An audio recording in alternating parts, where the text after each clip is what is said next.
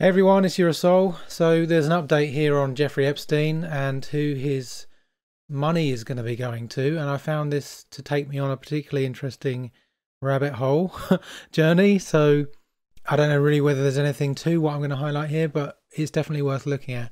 So if you read this piece on the Daily Beast, and I'm sure it's covered in other news sources as well, it talks about his money, basically most of it being given to this so-called mysterious 1953 trust and it's not explained in here what that is, and I don't think they actually know. So basically, a trust, as I understand it, usually is uh, a kind of entity that's used to store wealth that's then managed by probably more than one person for a certain purpose, maybe a mission statement or whatever it is that might take any length of time to achieve. It could be anything. It could be look after cat, homeless cats through to organize a world revolution or anything really. Um, and we don't have a description of what that is. Now, the fact that it's called the 1953 Trust to me suggests that if you knew what the trust was, then you might question it. So it probably has that name in order to keep its function secret, I would suggest.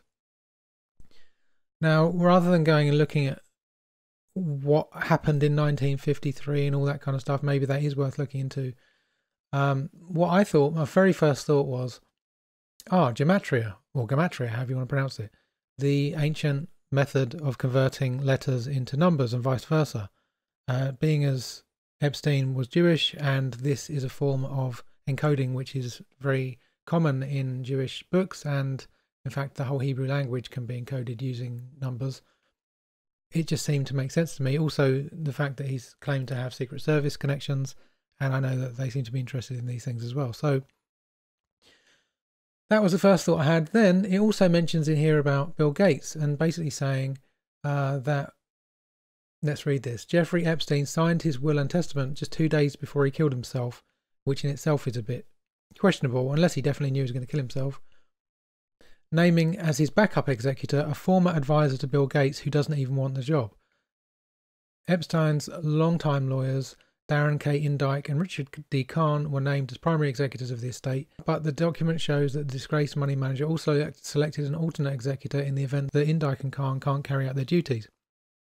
Boris Nikolic, an immunologist and biotech entrepreneur, who was reportedly shocked to learn that he was listed in the will, which dictates that all of Epstein's personal property should go to the trustees of a mysterious entity called the 1953 Trust.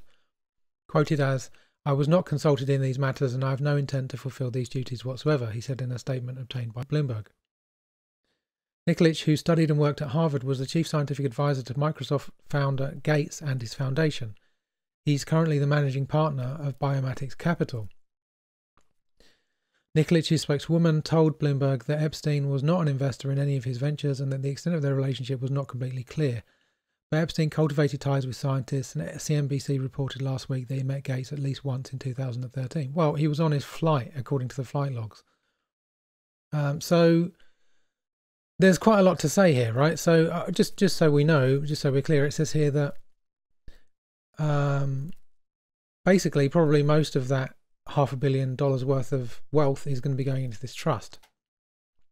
So first of all, just to refresh your memory in case you missed it, I actually ran a story very quickly after Epstein died and after the documents were released about Epstein's case that showed that Bill Gates had been on one of Epstein's flights in 2013. I showed that I already knew from memory that in 2013, Bill Gates' quote personal engineer was arrested at one of Bill Gates' mansions for possession of 6,000 plus images of child abuse and rape. And as far as I know, that case, I don't even know what happened with that. I think it just seemed to seem to vanish. There was no more reporting on it. Someone really needs to look into that. Um, it was covered even here in the Daily Mail. Engineer employed at Bill Gates' mansion traded 6,000 child porn images using Gmail. Rick Allen Jones, 51 of Seattle. Now, as I said, I never heard what happened to this guy. The story just basically, um, I mean, it says here jo- Jones has not been jailed but was ordered to stay away from children. So he's due to appear in court in coming days, and uh, there's no further story on that. So I don't know what happened when he went back to court. Never heard anything about it. If anybody can look that up, that would be very helpful. But As we can see here, Gates flew with Epstein on the Lolita Express in 2013, the same year that this guy was arrested at Gates's mansion for 6,000 child pornography images. Now, obviously, Gates is an engineer. This other guy was an engineer. I'm sure they would have known each other having an engineer at his house. Obviously, they would have known each other. So, what are the chances of somebody in Gates's position or anyone's position in the same year being so close to two people involved in industrial scale child abuse? I would say not very high unless there's something more to it. So, the fact that this guy has named, that Epstein has named this guy who's also very close to Gates as the primary or at least one of the likely executors of the will, I would say is important.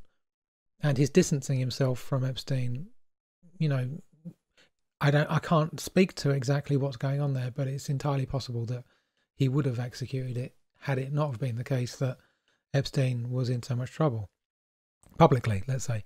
But coming back to the 1953, this is what I want to look at. This is just another freaky connection here, and you can say it's coincidence and irrelevant if you want, but I'm going to show you anyway. So gematria is a process whereby you take letters of the English language and you convert them into numbers. And there are various different ways of doing that. This site, Gematrinator, has lots of different ciphers on it. Um, you've got these various English ordinal full reduction, these different methods of sort of numerological analysis. As you can see, you've got Francis Bacon on here. Apparently, he was into that kind of stuff. Um, and there's always different versions. There's a satanic one, there's Jewish, Kabbalah, mathematical, and so on. Greek, Hebrew. There's too many on here for me to sit here and go through all of them. Um, prime numbers is a key point. So I'm just going to add in here um, the primes because I found that to be relevant. So if we come down to the prime numbers, 1953, what do we get? Well, 19 is a prime number. 53 is a prime number. Hmm, that's interesting. Maybe there's something to this because there aren't many prime numbers. Uh, but that translates to H and P. Now, to me, that says Hewlett Packard, but I don't know what else it says. I am not suggesting Hewlett Packard are connected to this in any way, but it doesn't. Nothing else jumps to my mind meaning HP. Maybe someone else might come up with a name that connects to that. I'm personally not thinking of anything. But what did jump out to me is if in the normal English ordinal, A is 1, so 1953, 1A, 9I, AI, E is 5, C is 3. You've got AI and then EC, artificial intelligence, EC.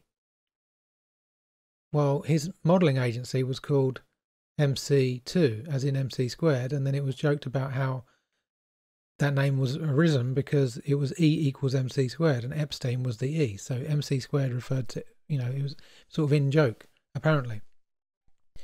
So we've got these letters again, EC. Now, C is light and E is energy, or Epstein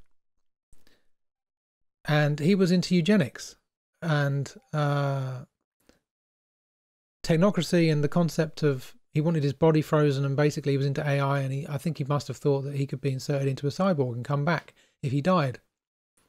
So EC is light energy.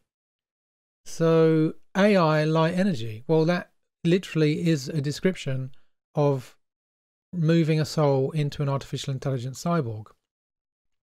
So it wouldn't surprise me in the slightest that he had left his money to a trust designed to develop artificial intelligence and potentially bring him back from his frozen body. That's exactly what I would expect him to do with his money. So I find that extremely interesting.